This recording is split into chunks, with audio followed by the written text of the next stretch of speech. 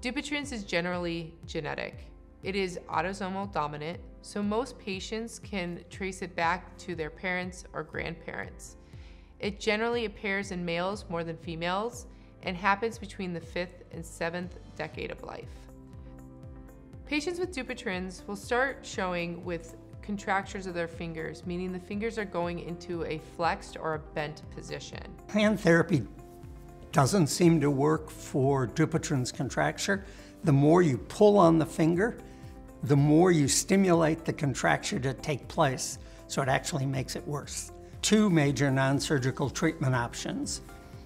One is collagenase. Because your fascia is collagen, it's injected into the fascia and it spends 24 to 48 hours chewing up a small area of the collagen of the fascia. And then they come back to the office 48 hours later to a week later. They're numbed up and then the finger is forcefully straightened and you hear a pop and the finger now is straight. The other is needle fasciectomy, and that's where you numb up a little bit and you take a needle like you'd have in it for an injection, and you use the needle as a knife and you cut the fascia as you gently stretch the finger out.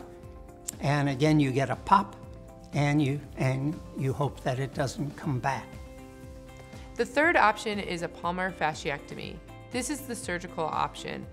While it's the most invasive, it has the least reoccurrence. The surgical option for this is a outpatient surgery.